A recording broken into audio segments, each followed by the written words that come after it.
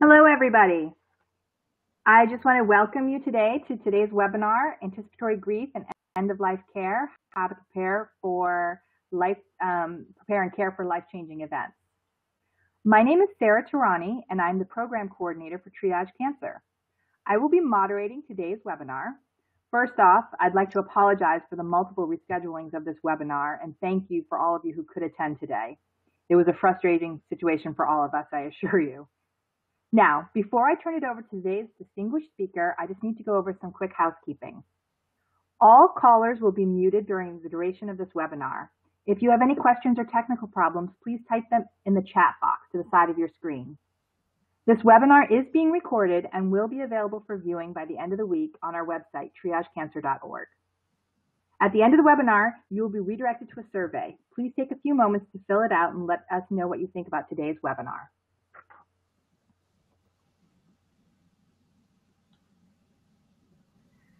As part of the accreditation process to give you CEUs, we have to um, we have a disclosure that the planners and presenters of this program have not disclosed any pertinent financial relationships or conflicts of interest. This education program does not have any commercial or non-commercial support other than the support listed from sponsors and partners.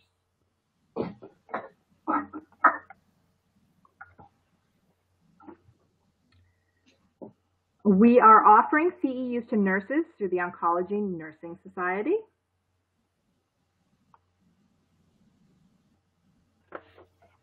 In order to receive the units, you must have registered online for today's session. People who are listening in on someone else's computer are not eligible for credit. That's an important point. You also must attend the entire webinar in order to receive the maximum number of credits. Within one week of this webinar completion, um, you must complete the evaluation. You'll be redirected to the survey at the conclusion of the webinar, and I'll be sending out an email reminder about this information on Friday by 5 p.m. Please note that on the evaluation, it asks for your name and email address, and you must include these so that we can certify that you've completed the evaluation. The email is the address we will use to mail your certificates. We will be sending out certificates within four to six weeks. If you are listening in on your telephone today, please make sure that you indicate that on your evaluation because I have to do some crazy matching work in the back end to make sure that works. If you have any questions or prob experience problems, email us at info at triagecancer.org.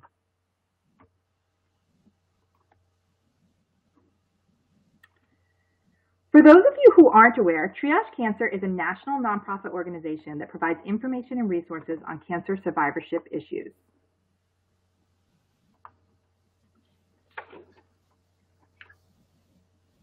We offer this education in a few different ways. First, we host a Speakers Bureau of experts in all types of cancer survivorship issues available to organizations putting on educational events. You can read our speaker bios or request a speaker on our website. We also host and participate in events all over the country for patients and survivors, caregivers, advocates, and healthcare professionals. More information about our signature events like our triage cancer conferences and in-service trainings um, can be seen on our website at triagecancer.org. We also have monthly webinars. The next one is actually next week. It's protecting yourself and your family by planning ahead. And our full schedule can be seen online again. And finally, we have a plethora of online resources and tools available for free. For example, we have charts of state laws on employment, disability, health insurance, and health insurance related information. Our website is a really robust place for information for you guys. We also have quick guides on various topics such as employment, finances, privacy, and clinical trials. These are designed as sort of a snapshot on a particular topic. And lastly, we have an educational blog and e-newsletter where we post late breaking news about cancer related legal issues and other happenings around the cancer community. And this brings us to today's speaker, Shirley Otis Green. Shirley Otis Green is the clinical director of, of consulting services with the Coalition for Compassionate Care of California and the founder of Collaborative Caring. Shirley's education, research, and, co and consultation efforts focus on quality of life, palliative care, leadership development, and the creation of meaningful organizational change. She has been the principal investigator on studies with over $3.3 million in external funding. She is also the co-editor of the Oxford Textbook of Palliative Work. And that, with that, I'm going to hand it over to Shirley. Thank you so very much, Sarah. Thank you so what a pleasure. Much, Sarah. What a pleasure. I'm wondering if there's an echo as I speak. Perhaps not. I'm not. Um, Wonderful. Um, again, thank you so very much for this opportunity. I'm really delighted to have an opportunity to speak with all of you and uh, again, welcome to this uh, presentation. What we want to do today is outline the common emotions, reactions, and challenges for preparing for life changes. And those changes can be diverse. There are lots of losses that people with cancer will face. Um, it could be their own death or the death of their uh, loved one, changes in relationship, financial implications to dealing with cancer, and of course, lots of role changes changes as well as behavioral changes that can occur as part of coping with this uh, serious life event. We want to also talk about practical tips to help you, um, to help the patients prepare and care for themselves um, leading up to, during, and following these types of changes. Our goal is to talk about grief, loss, and bereavement, not just as something that affects the patients and the families that you serve, but also to be cognizant that there are implications for us as clinical providers. So we're going to be talking about all three aspects throughout our hour together. All of us dealing with cancer face multiple losses throughout the entire illness trajectory, and each person is going to grieve that in their own way one of the reasons that I feel that an interdisciplinary care approach is so vital because it allows us to address the multidimensional aspects of patient suffering. We can best support the survivors and the patients if we have a full team available to assist with whatever their concerns might be. We know when we do this work that loss is not just about death. We need to be cognizant of anticipatory grief. And that again is a uniquely individual response. No two people are going to go through that in the same way. It's not orderly or predictable, but it is culturally influenced. And there are special needs for us as we age through the lifespan. We need to incorporate the awareness of the loss, the experience of the loss, and eventually integrate the loss for our optimal mental health. Loss can be of a person, a thing, a dream, a relationship, a role, a situation, and grief is a normal response to any of these losses. We might use the term mourning as the outward social expression of loss. And again, this is a multidimensional experience, very influenced from who we are religiously and culturally. Now, th again, those of us who do this work know that from the very moment of a diagnosis of a serious illness such as cancer, everything seems changed. I like to think of this as our own personal earthquake, reminding us that we are not in control and that the world isn't as predictable as we might have once believed. This is a picture of the uh, interstate near our home. I live here in Southern California, and this was taken by my husband when in the 1994 earthquake that affected Los Angeles. And I can remember that terror. Suddenly, we weren't sure what was going to happen all bets were off. Would we be able to get to work? Would we be able to do the things that we had planned?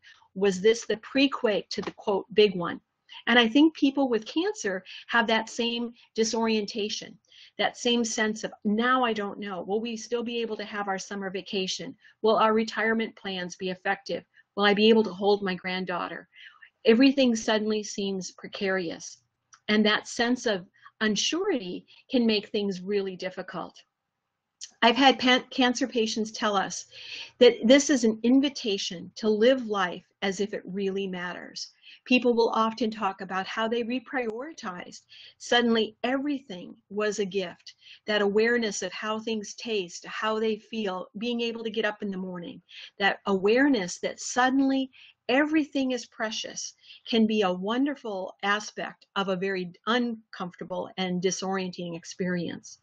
Our job as cancer providers is to try and assist patients in being able to negotiate this change in how they viewed the world and be able to have the healthiest coping possible. If we're not able to address these things, then that anticipatory grief can lead to an existential crisis. That sudden awareness that these days might be my last um, can be extraordinarily disconcerting. Uh, people can become anxious, they can become depressed, they can again deal with this in innumerable ways, uh, many of which can have a negative uh, repercussions both to them and to their families. And we as healthcare providers also have the possibility of falling into an existential crisis. Existential suffering comes in whenever our meaning and purpose in life is called into question. Many of us have a worldview that says the world should be fair. If we're good people, good things should happen. And cancer is a reminder that that's not the way the world works. No one deserves to have cancer. No one deserves to have these horrible things that they have to now face or to have a loved one um, perhaps lose their life prematurely we know that we have to assist people as they're uh, uh, grappling with these really major uh, feelings of, of despair and, and uh, disorder. People, again, like to think that they're in control. We talk about control, especially in our US culture, you know, all the time. People like to feel confident that they can make things happen and that they're in charge and that, that um, it's, the world is predictable. But that illusion of control is definitely shattered with the diagnosis of something as serious as cancer. If cancer can happen, anything can happen. And suddenly a person can feel more powerless than they've ever felt before. Questions about uh, how this could possibly work, how what kind of God would allow this to happen? Those are questions that our patients often are struggling with. Those of you who might be on call or or perhaps covering night shifts, um, it's not at all uncommon to sneak into a person's room to do vitals or to uh, check on on the um, the machinery that we have going to support people and to find that person at two in the morning um, sobbing quietly in their bed as they're grappling again with these really difficult challenges. It's important for us to recognize that for many people, they might not have ever had to face some of these really difficult questions about meaning and pur purpose in life. And cancer, again, offers that um, stark reality of now's the time to say, you know, what do we really think about how the world works? Many people don't have foundational premises and choices authentically made, and therefore their life might be filled with guilt or regret. My official social work word here is stuckness. And the idea that people feel stuck if they're not dealing with um, situations that, again, are authentic for themselves. A patient that I recall who really affected me many years ago when I was working directly in cancer care, her words have stayed with me forever. She was a beautiful woman. She had everything that one could hope for in her life. Beautiful family. She had beautiful clothes. She was a, um, always perfectly attired. Um, she went through her cancer experience as as uh, robustly as anyone could. I would offer, you know, social work opportunities to touch base with her, and she would always just you know, whisk, uh, whisk me away. Um, she had no need um, for such things. She was in control and in charge. And then one day, completely un, um, surprising to me, you know, she, she stormed into my office and closed the door and began sobbing and she was crying so much and i tried to understand and and support her as she went through that and when she could finally take her breath she said i realize i'm going to die and the next words she spoke, as I say, still echo in my mind. She said, I've I don't know who I am. If I was on death row and they said, What would you want for your last meal? She said, I couldn't tell you. She goes, If you ask me what's my favorite color, I don't know. I wear red because everyone says I look good in red. I don't think I even like red. On Mondays, we're going to have meatloaf because that's what we do. But I don't think I even like meatloaf.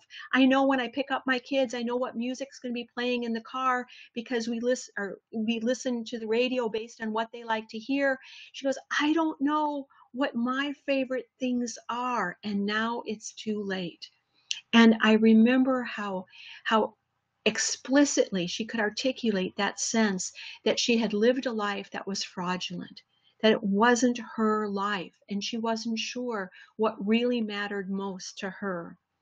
And I think that all of us who are uh, working with patients who are, are struggling with these issues have similar stories that they could tell. And we know the challenge is when, if we come face to face with that while we're dealing with cancer, we are going to need energy and courage to make the kinds of changes that would get us back on track. But energy and courage are in short supply if our illness is going to worsen, if our treatments are going to take a toll, we're going to be fatigued, we're going to be anxious, we're going to have less energy and perhaps even less courage. She anticipated that she would not be able to have her life turn around and that she would have a difficult death. And indeed, her prediction came through. She struggled until the very end and was filled with what she identified as guilt and remorse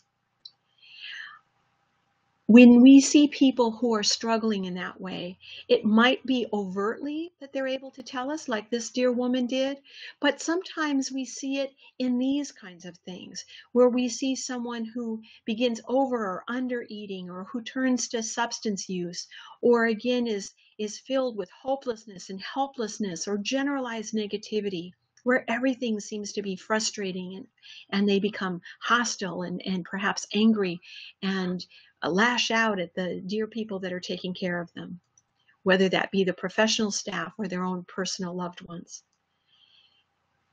It's important for us in those times to be able to have a, a, set of tools or skills that we can turn to. I like to think of it as having a toolkit or a toolbox at the ready for us, where we can reach into that toolkit and identify some some things that we know can work to help us. And so the more of those tools and skills we have the more adept we'll be able to be. It's like the the carpenter who only has a hammer which works fine if he only deals with nails but we need to have more tools that are are in our toolkit so that we can address the needs of more people.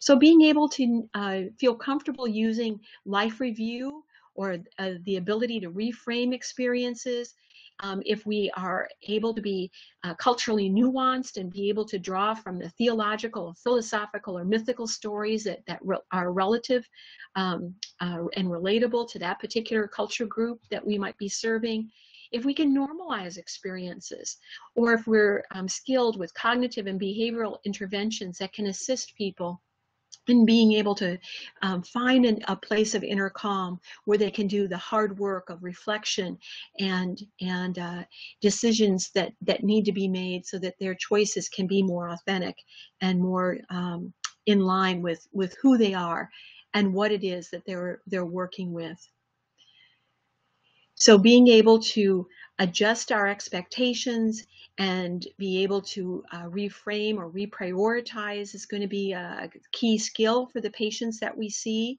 Helping people to debrief, and a phrase that I like of degrief, um, letting people know that things take as long as they take. Um, certainly that's true as we deal with cancer. We know that there is such ambivalence. You know, people would like to know which um, box that they're in and what the future is going to be, but we can't tell. You know, a certain percentage of people might have a certain experience, and those are based on probability samples of large numbers of people. But we don't know for Mary or for John or for Bill or for Mario we don't know what their experience is going to be. When they look at the doctor or the nurse and say, How long do I have? We don't know. Unless the person is imminently dying, it's hard for us to predict. Many studies have looked at this and demonstrated for us that the closer we are to someone, the more strongly um, we feel uh, liking of that patient, the worse our predictions are. So being able to recognize that that ambiguity is a part of this experience. All of us, again, whether the professional staff or the family members or the patient going through this, need to have an ability to cope with stressful situations. We need to practice those skills. Many of you might be delivering chemotherapy to a patient or um, assisting as they go through some other kind of challenging treatment and being able to help people to do deep breathing or calmness exercises or being able to um, reframe the experience in a way that can make it more tolerable. Those are wonderful skills to have in our toolbox. And we certainly know that we need to encourage people along this journey. So helping to celebrate even the smallest of achievements, that they were able to take that, that needle stick without um, passing out, that they were able to uh, tolerate coming in for that scary appointment. You know, we want to celebrate the accomplishments that they've made. It's important for us to encourage physical self-care, but also care related to our social needs, um, being able to think of ourselves and what our needs are, and then treat ourselves the way we might to our, um, someone that we deeply cared about. So being able to nurture ourselves. And again, if we can model some of these skills as providers, we're going to be more authentic when we encourage our patients or their family members to model these um, or to uh, practice these skills as well. So it's important for us to demonstrate that we take good care. When we demonstrate that that we're not in, that a good caregiver doesn't stop to eat, drink, or go to the bathroom during our shift, we're modeling that when the family caregiver takes their loved one home, that they too should put their needs completely on hold. And we know that that's ultimately not in their best interest, nor was it in ours if we do that. Being able to be mindful again of supportive strategies that are useful. Being able to share our authentic hopes and dreams and fears with someone who can be a close confidant being able to surround ourselves with family or friends or pets, things that, that help us to find the magic of each day. Those are important strategies that can help us to cope with the difficulties and the challenges that we might face. It's important for us to have a supportive network and to ensure that the patients and families that we see are encouraged to do the same. If we have support groups that we can refer them to, that's certainly um, helpful. Those might be in person, it could be online. We want to make sure that people aren't going through this in an isolated way. One of the best strategies to be um, looking for as a screening tool is does this person come alone to each of their appointments? It's as simple as literally saying, are there other people in your life who can assist you as you go through this?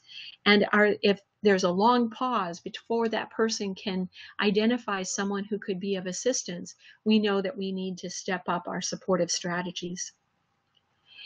Dealing with cancer might be a time when people find that it's important to reconnect with lost traditions. We saw many of the people um, that I was uh, meeting with who would tell me that they maybe, quote, used to be Catholic or used to attend a certain church or denominational activity and be able to, um, even as a, a non spiritual care provider, being able to check in as to um, what might have led to them discontinuing that and offering them the opportunity to talk with someone more about that.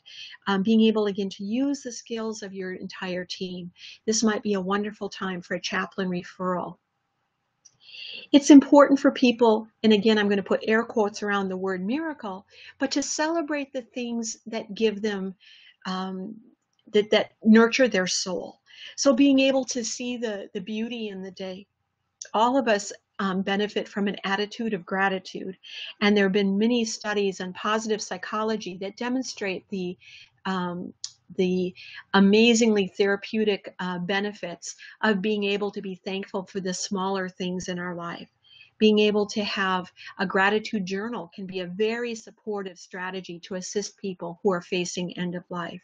No matter how seriously ill I am, how sick I become, can I still delight in the beauty of the day? the fact that my kitty is at my side, the fact that the birds are singing outside, the fact that I can open my eyes and look through a window and see the, the flowers that are blooming. Being able to celebrate those miracles that surround all of us all the time is an important piece of successful coping. All of us benefit from being able to set aside time from self for self-assessment and introspection, reflection, meditation, prayer, however that person might define that. Being able to encourage people to see that even at end of life, there are opportunities to grow deeper and richer connections with people or the relationships that we might have um, spiritually or socially being able to see how this can be a time that slows us down. There have been so many wonderful um, novelizations and memoirs that, that um, so beautifully articulate this experience. There's a lovely book called When Breath Becomes Air that talks about a, a young uh, surgeon and his his uh, quest to become this wonderful professional that was cut short. I think he was only 34 when diagnosed with a horrible cancer that eventually leads to his death. And as this young man writes so beautifully, this is a chance for him to take the time to learn that inner landscape a little bit better. He'd been so busy otherwise. And being able to see, even in the depths of his illness, that there were gifts to be discovered, that this was a time to focus and prioritize on the things that really do matter the most. Um, many, many people have written, um, I think every uh, theological um, background has uh, encouragement for us to be able to see the importance of slowing down, taking that deep breath, spending some time um, quieting down our soul, and being able to um, explore what really matters most. Sylvia Boorstein has said, life is painful, but perhaps suffering is optional. And that's a lovely reminder for us that when I define suffering, I think of it as pain plus fear. The idea that it might be painful to go through cancer, and hopefully, we're going to do a really wonderful job of exquisitely addressing the symptoms that people have. But perhaps suffering is something that we can really ameliorate, being able to help people to minimize that fear, to help people feel supported so that they're not going through this experience alone. Those can be really important gifts that we can offer. I'm going to come back to one of my key themes. When I think about end of life care, I think about the importance of authenticity. And as a social worker, I think about my definition of that is is thinking about mental health as the degree that we have our beliefs and our values and our actions in harmony.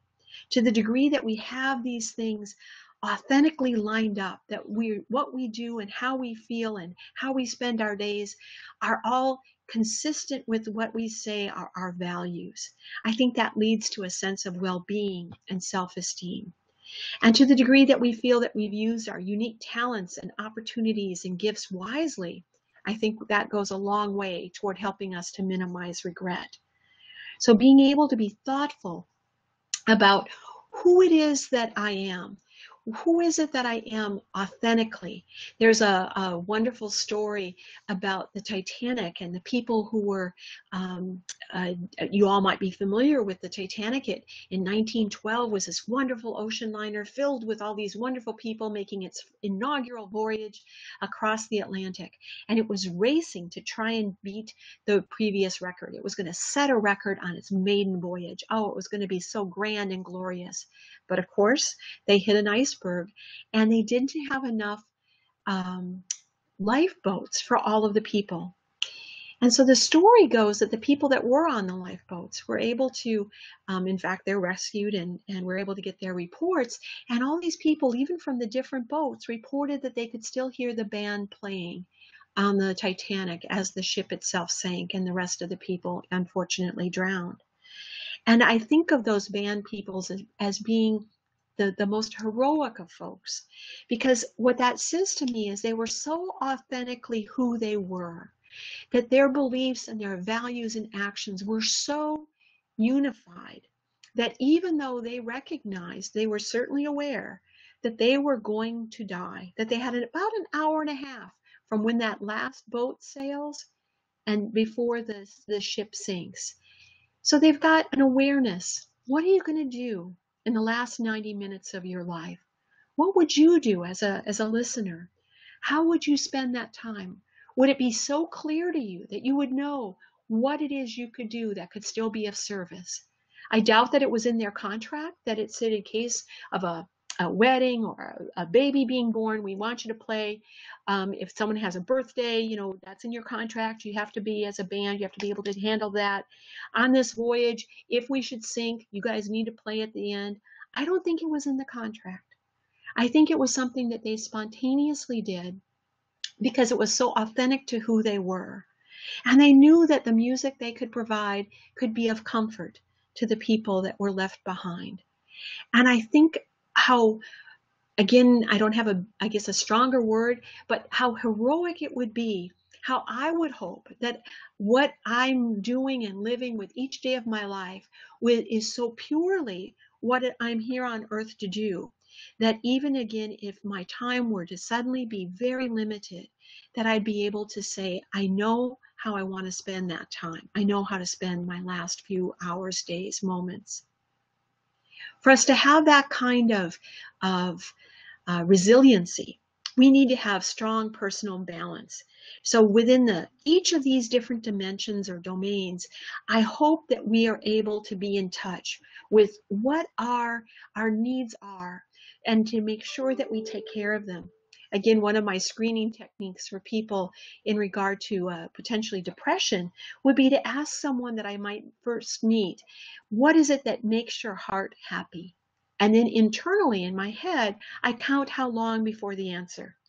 And to the degree that it's a really long time, I start getting concerned. And if the person maybe says, well, I like to go fishing. And I then my follow-up question is, when's the last time you did that?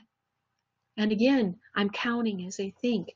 And if they say, well, 1942, I've got a pretty clear idea that this is a person who's not in touch with the things that give them joy.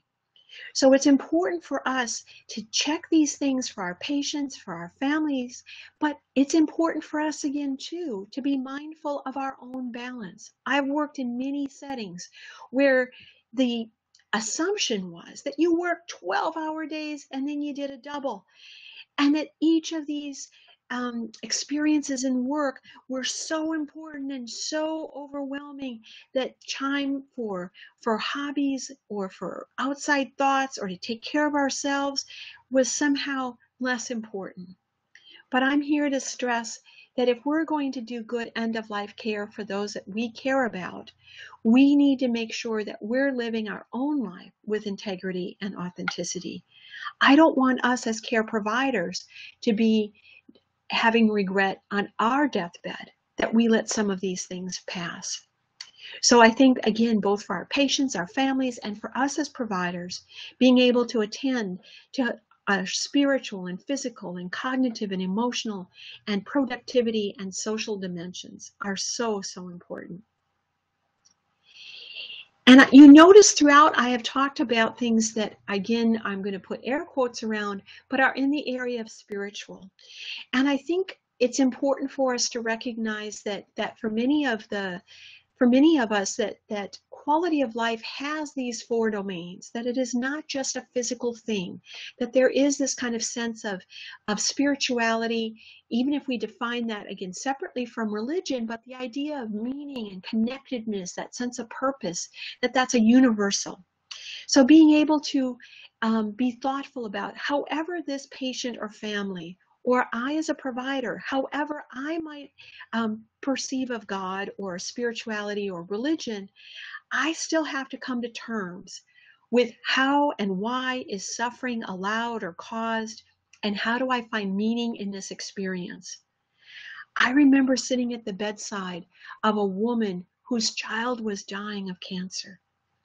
And that woman believed so strongly that God was going to send a miracle and God was going to awake her child and cure her child. And she was going to celebrate that. And she was just waiting and waiting and waiting. And then her child died.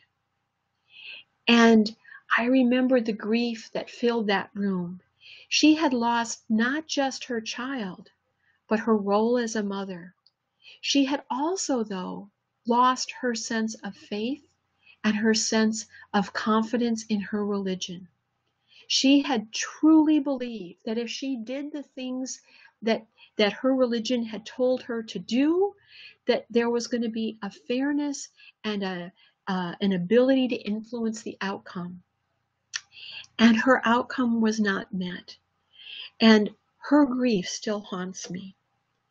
We need to be able to assist people in dealing with these really difficult challenges. I had a patient once say that she finally realized that her cancer wasn't a punishment, but instead perhaps a preparation. And those words have also stayed with me. That idea that that again making somehow this make sense in some way is an important piece of minimizing regret. And that I think is one of the key reasons that we in clinical practice are so important. We have a role not just to do anticipatory guidance and not just to do exquisite symptom management, but we all share the importance of minimizing regret, helping people to take care of the business of end of life. That might mean doing a durable power of attorney for healthcare or estate planning or find, filling out a will. Certainly, it means having backup plans for our responsibilities. Again, whether it's our possessions, our property, our pets, our parents, our children. And as we go through this, many people struggle, but there's ancient wisdom from almost every cultural tradition that says some variant of we can hope for the best, but to do a good job as adulting, we need to prepare for the worst. So being able to have backup plans to our backup plans is another key aspect of good end of life care. I've heard it says that perhaps true wisdom is knowing what animates our existence and then living accordingly. Being able to truly know what matters most and ensuring that our energy, especially when it becomes limited, as it will with end of life care, that we're able to make sure that we prioritize the things that matter most.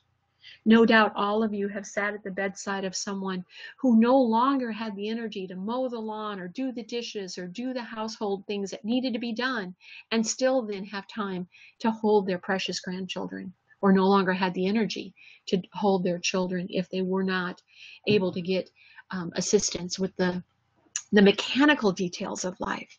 So being able to help people to prioritize how do I use my energy when my energy is failing? How do I delegate? How do I turn this into the best possible opportunity to have each day matter the most? Now, perhaps again, this is where faith, and again, uh, air quotes around that word, um, comes in. What's our perspective? Do we believe that there is an opportunity for good to come, even out of really difficult circumstances? Can we have a strong enough system that's, that supports us when we're really being challenged?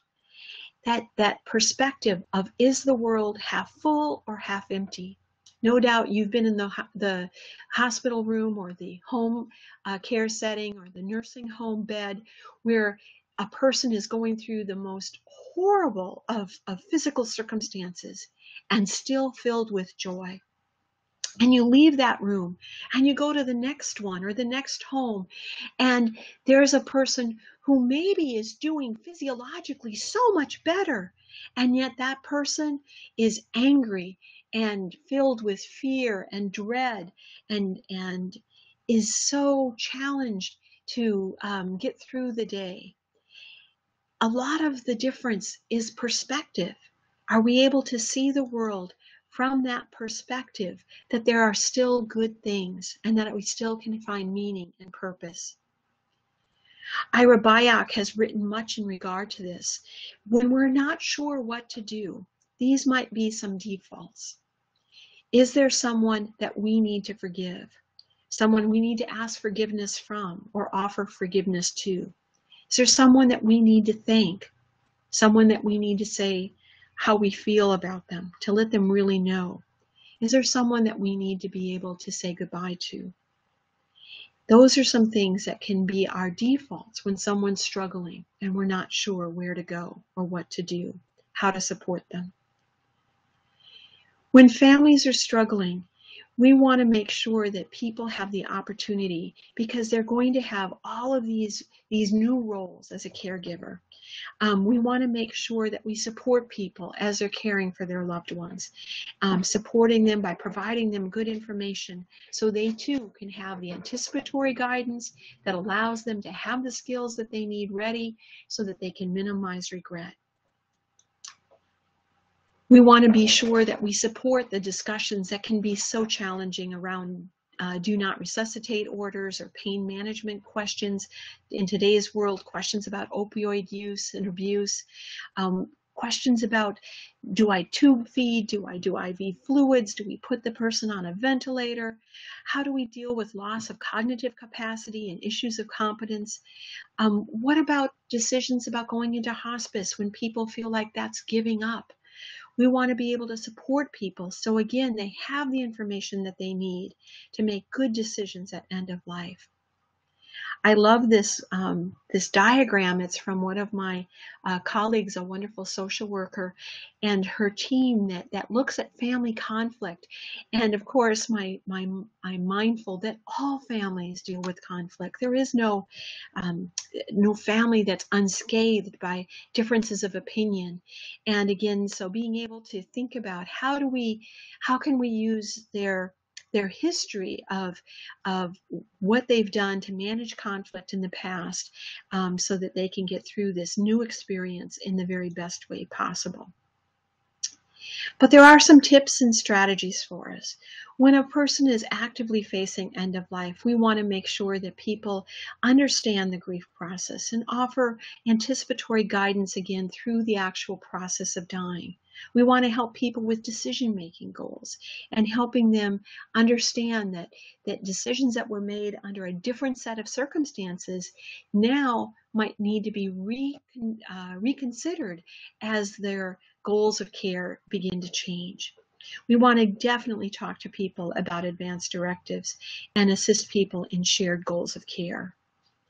We want to make sure that through all of a person's experience at end of life that we're providing really exquisite symptom management and that we're addressing the needs of their loved ones, referring them out for additional support as needed. We want to make sure that we as professional caregivers are taking care of our own team and supporting everyone through, again, anticipatory grief and advocating for their patients' wishes regarding their own end of life care. We want to make sure that we can offer people assistance in what I'm going to call conscious legacy building. The idea that we are all building a legacy, we're not all, though, conscious of it. So being able to be thoughtful about what's the impact of this patient's death on the loved ones. What are the uh, logistics or barriers and opportunities that need to be done um, to make sure that the people's needs are met as, as creatively as we possibly can. Um, again, many of you have probably worked with folks who were able to um, know the importance of celebrating a certain major milestone and made it happen, um, even when that was extraordinarily difficult to do. I think of people who have gotten married in hospice or people who've uh, celebrated uh, Christmas in just in uh, July, people who said, you know, our 50th anniversary is coming up in November and it's May and they look like they're not going to be able to live that long. And people have said, we can make this happen. We can have that celebration. People who always wanted to go to Italy but can't, can we do something to create the experience of what that might have been like for that person? Can we, you know, break the the bounds um, that that sometimes stifle us and be able to do again the things that need to be done so that people's experience can be the very best it possibly can be. Be mindful about how we handle adversity. We are mentors to the patients and the families that we see. So again, we want to be able to offer good guidance and support and um, help the families to create the memories that they're going to treasure for the rest of their lives. We want to offer also offer though reminders for the caregivers not to overextend and to still be able to refill their own buckets. They need to nurture themselves as they care for their patient um, that's going through this experience.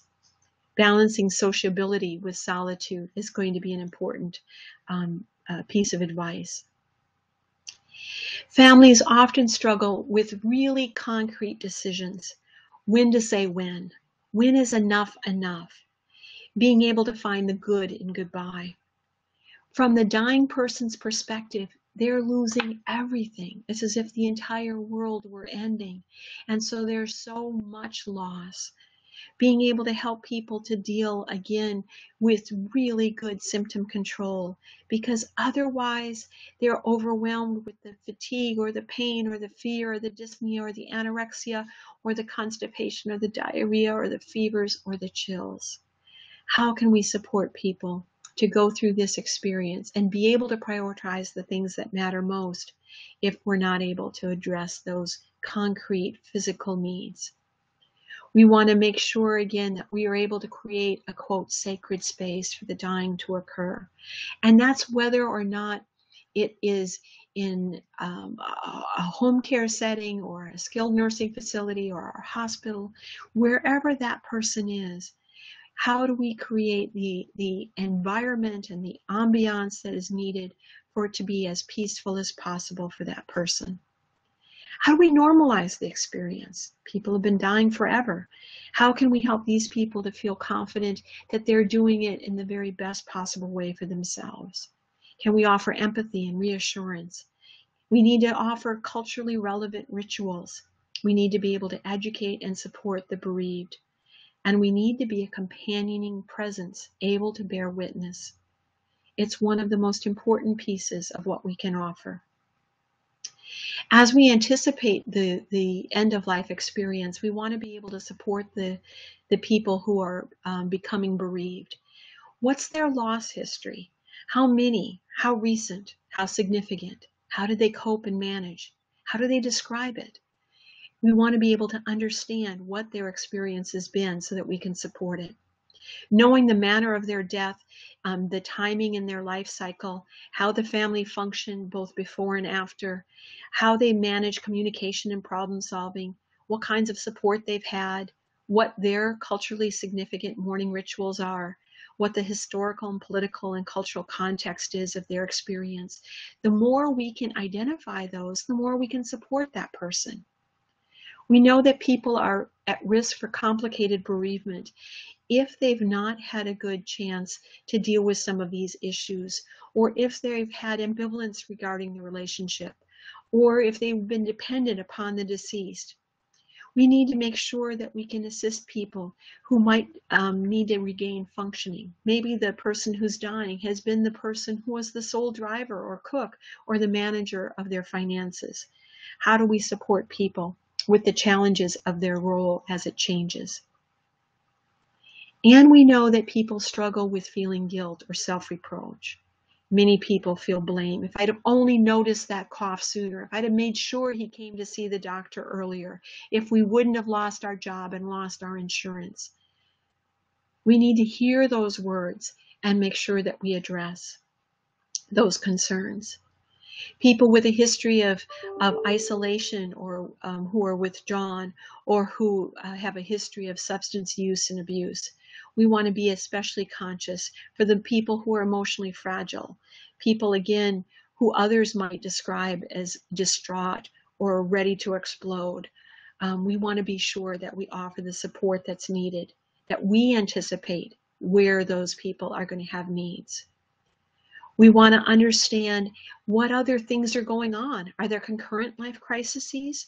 Is this loss going to trigger an existential crisis? Is there suicidal or homicidal ideation? Do they have the history or means? We want to be thoughtful again of their level of hopelessness regarding their future. Is there a financial difficulty that we can anticipate? Are there going to be different other losses that follow from this? Will there be a need for relocation?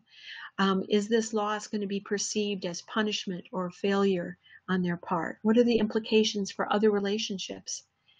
And we want to be mindful of the impact on children. Sometimes when an older person dies, we forget that this person was a beloved aunt or uncle or grandmother or grandfather. Can we support all of the people who are struggling with this person's demise? Because ultimately there's the possibility for post traumatic growth. And we need to be able to understand. Um, there have been now much more research in the area of positive psychology and, and this concept of post traumatic growth. And we can understand better how we can assist people in integrating understanding of these events um, and help them to be able to make meaning and be able to um, uh, repurpose their lives following this loss so that they can have the best possible outcome. And we want never to minimize the importance of the family caregivers in companioning and us as professional caregivers in companioning a person who's going through the depths of the struggle associated with end of life care. Being able to bear witness to that, to be able to tolerate the unanswerable questions, the why me, why now, why my family, being able to tolerate not having answers is a really important piece. Having courage to sit with someone and share the journey, being able to adapt our situation as needed, being able to give voice to the suffering. We need to be able to provide a companioning presence, giving permission for the feelings, offering active listening, being able to be silent, offering reassurance when appropriate, supporting people in, in identifying their support systems, using the specialists that surround us, whether it's spiritual um, professionals or, or perhaps bereavement um, specialists, being able to normalize and individualize the grief process, actualizing the loss, and facilitating living without the deceased. Those are important things for us to know. And as we go through this experience, we need to be mindful that this takes a, a potential impact on us as well. The cumulative loss that we experience can lead to burnout or compassionate fatigue or a lovely phrase called vicarious traumatization. These are not new concepts, and they're often um, things that, that we forget to attend to in our busy, fast paced care of the ill. We need to make sure that we spend some time thinking about how we make sense of our own mortality we can't do this work authentically if we're not mindful of that. We know that we are going to identify with some patients more than others. And we know that each loss is going to be an invitation to grieve our own past losses. We need to make sense out of our own sense of meaning.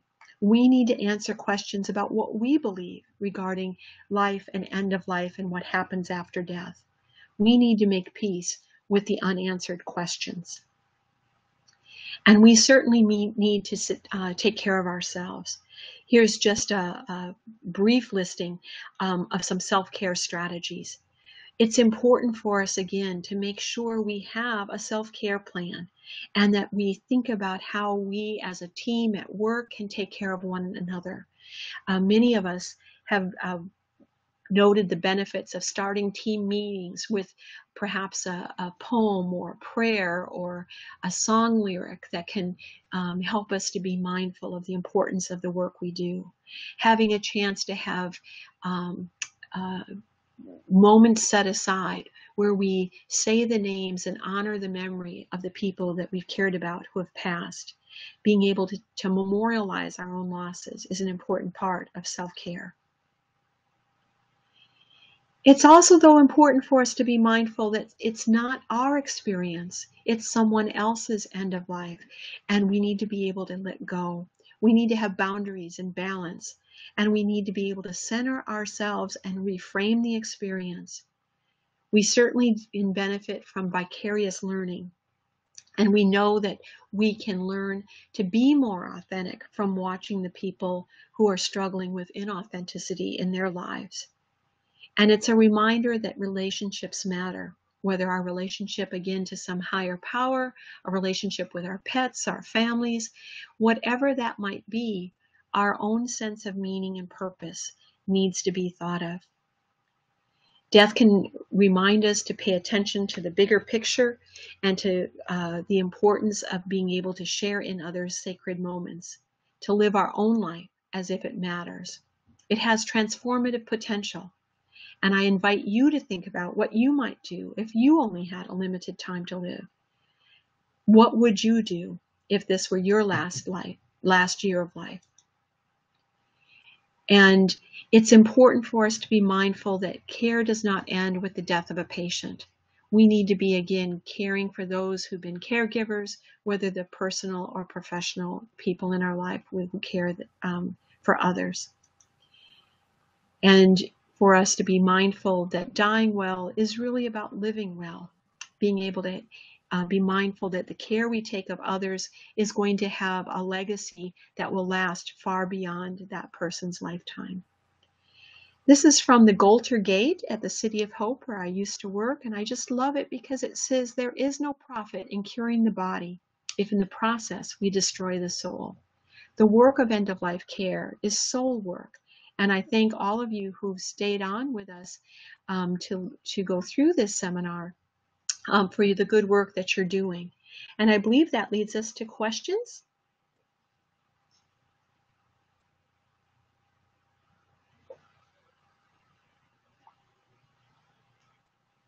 And Sarah, I can't hear you if there are any questions.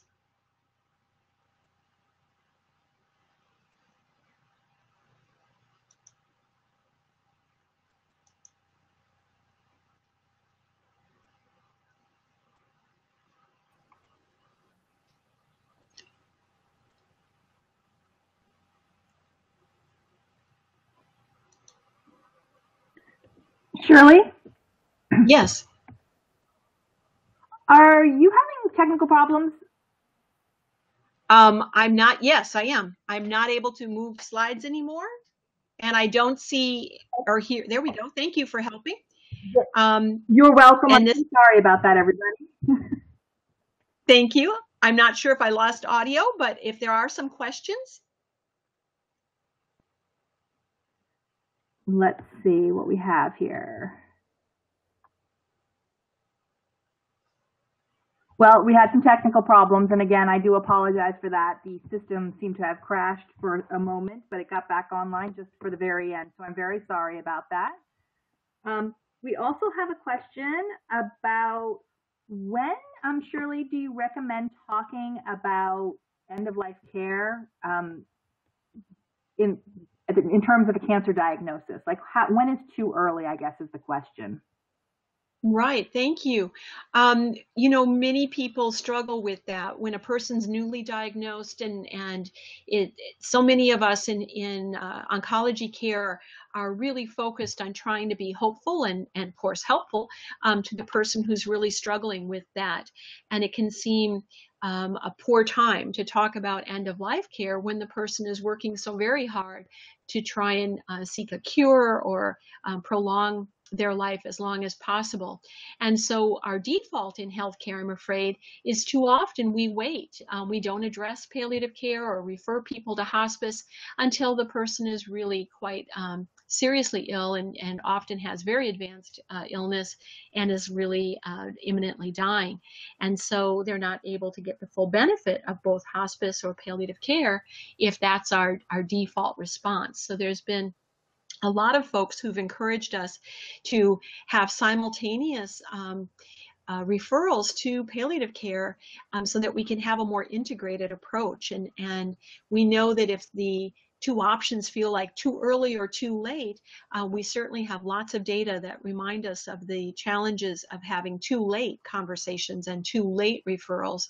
Um, so there's a lot to be said for being able to integrate our um, conversations with people about advanced care planning and normalize that for folks um, from the very earliest moments of diagnosis. Being able to normalize that goes a long way. Then it's not because I see that something's particularly wrong with you, it's because everyone who's going through a cancer experience has concerns and questions about this, and we'd like to be sure to offer you the best support possible. And we have a team that can help uh, to do that. So an early integration of those is associated um, in the research with um, much better outcomes for the patients and families and also for the providers feeling better about the care that they can offer to people as well.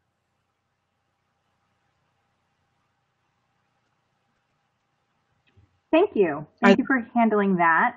While we wait and see if more questions come through,